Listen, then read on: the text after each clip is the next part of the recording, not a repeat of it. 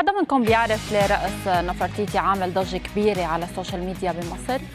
كلنا بنعرف بأنه تمثال رأس نفرتيتي الشهير هو قيمة فنية وتاريخية كبيرة مش بس لمصر لكل العالم اليوم مصر عم تطالب باستعادته مرة تانية بعد أكثر من 100 سنة عريضة إلكترونية دشنها عالم الآثار المصري والوزير السابق زاهي حواس لحشد شعبي كبير عم بيطالب بإعادة التمثال من متحف برلين بألمانيا. قال بأنه اللجنة هي لجنة وطنية غير حكومية. قصة التمثال بترجع لسنة 1912 لما عثرت عليه بعثة ألمانية بتل العمارنة بمحافظة المينا. شحنته لبرلين بالعام التالي. تل العمارنة مشاهدينا هي العاصمة اللي انتقل لها أخناتون زوج نفرتيتي من الأسرة ال 18 واللي حكم مصر قبل 1335 عام قبل الميلاد تقريباً. طيب بالرجوع لحملة حواس عم بتركز بشكل أساسي على استعادة ثلاث قطع. هي رأس نفرتيتي حجر رشيد وبرج دن درة لهلا ما في أي تعليق من مسؤولين بألمانيا على هي العريضة ولكن سأعرف تفاصيل أكثر من ضيفي من القاهرة الباحث في التراث ومستشار وزير الثقافة الأسبق دكتور محمد مندور. مرحبا بك. يعني بخطوة جديدة لحشد الدعم المصري لاستعادة تمثال نفرتيتي أطلق دكتور زاهي حواس وثيقة إلكترونية عم بتطالب بإعادته لمصر. خلينا نبدأ من الهدف الرئيسي من الوثيقة الإلكترونية اللي أطلق حواس بشأن تمثال نفرتيتي.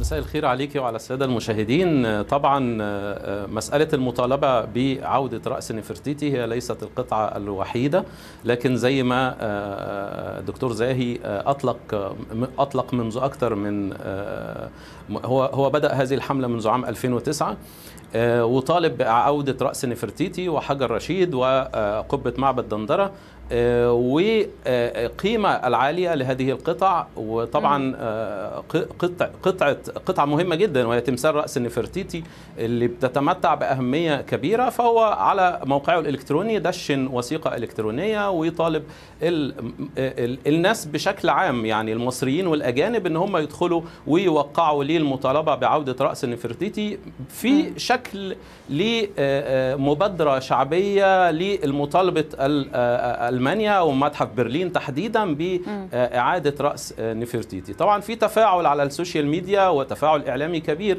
وأثري كبير مع هذه الوثيقة الإلكترونية اللي أطلقها دكتور زاهي حواس وهي ليست المرة الأولى أن يثير فيها الدكتور زاهي حواس هذه المسألة منذ أن كان أمينا عاما للمجلس الأعلى للآثار في 2009 أطلق هذه الحملة. ثم عاد في 2011 عندما كان وزيرا للثقافة وزيرا للآثار وأطلق أيضا مرة أخرى وطالب بعودة رأس نفرتيتي وهو هو يرى كما يرى معظم المصريين إنها هذه الآثار يجب أن تعود إلى مصر وتكون في المتحف المصري الكبير اللي يعني هو أيقونة للمتاحف طيب. المصرية وهذه القطع هي تفضلي طيب دكتور محمد يعني اليوم بالحديث عن الجهود المستمرة لحماية التراث المصري وإعادة القطع الأثرية المهربة أو حتى المسروقة منها واللي توجد بالمتاحف الأجنبية. لو بتخبرنا أكثر عن رمزية تمثال نفرتيتي للحضارة المصرية القديمة. شوفي تمثال نفرتيتي هي ملكة زوجة ملك مهم وهو إخناتون. وإخناتون هو من الملوك فترتهم عملت تحول في الحضارة المصرية القديمة سواء من الناحية الدينية أو من الناحية الفنية والأثرية. يعني دائما الأعمال الفنية اللي بتعود إلى عصر إخناتون هي أعمال مميزة جدا من الرؤية المثالية والرؤية الواقعية. يعني حتى لما بنيجي ندرس تاريخ فن لمرحلة إخناتون أو. لو اتكلمنا عن رأس نفرتيتي نفسه هتلاقي هو بيمزج ما بين المثالية والواقعية في الفن المصري وده تحول في هذه الفترة. طبعا الفترة دي أيضا أيضا شهدت في عصر إخناتون تحول الديانة وإخناتون يعني دعا إلى التوحيد وأيضا نفرتيتي نفسها كانت لها مساهمات بارزة. يمكن إحنا من الجداريات بتاعت هذه الفترة بنرى قد إيه هي كان لها مساهمات في دور المرأة. إزاي هي ظهرت إلى جوار إخناتون في الطقوس والعبادة داخل المعبد؟ إزاي حتى الرسومات الخاصة بنفرتيتي مع إخناتون مختلفة عن الفترات نعم. السابقة. تمثال نفرتيتي له قيمة فنية عالية جدا في نعم. شكل التمثال. الألوان اللي لما بنشوف تمثال نفرتيتي بنعتقد إنه كأنه صنع أمس. يعني من كتر ما هذه الألوان ثابتة إلى الآن 3400 سنة تاريخ هذا التمثال. وما زالت الوانه باقية. تفاصيل التمثال بتؤكد براعة المثال المصري اللي عمل هذا التمثال ونحت هذا التمثال.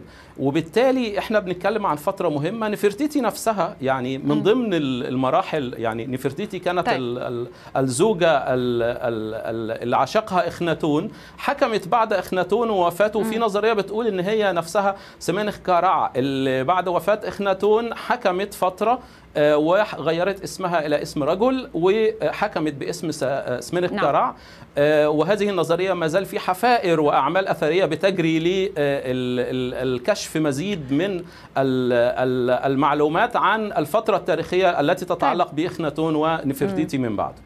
دكتور محمد اليوم برأيك قد التاثير الجماهيري والشعبي والضغط لإعادة الآثار المصرية اللي خرجت ممكن يعطي نتيجة إيجابية؟ شوفي هو اولا قبل التأثير الشعبي هو إحنا كلنا كشعوب نتمنى إن كل اثارنا في الخارج إنها ترجع لمتاحفنا. أحيانا بنرى إن هي إحنا بين نارين إنها ترجع لمتاحفنا لأن إحنا الأقدر بيها ولا إن إحنا نظل تظل هذه الأعمال موجودة في المتاحف الأوروبية والعالمية كسفير لمصر في الخارج وكدعاية وترويج لمصر في هذه المتاحف.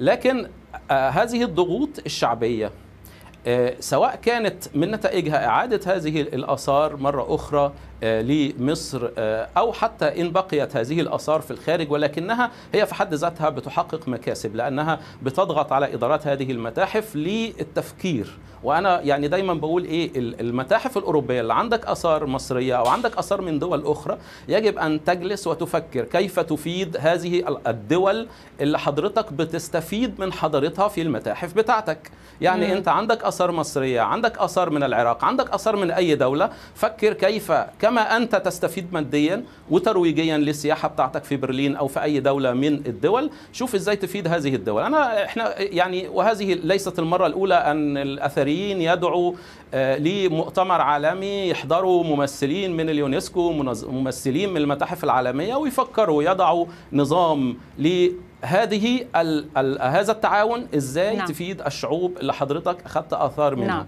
معظم نعم. البلدان في فترات الاستعمار خرج منها كثير من من الآثار مصر في نعم. فترة الاستعمار فكرة. يعني هذا التمثال خرج في فترة الاستعمار نعم شكرا جزيلا يجب لك اعذرني دكتور محمد ولكن لضيق الوقت كنت معنا من القاهرة الباحث في التراث ومستشار وزير الثقافة الأسبق دكتور محمد مندور أشكرك أشكرك شكرا جزيلا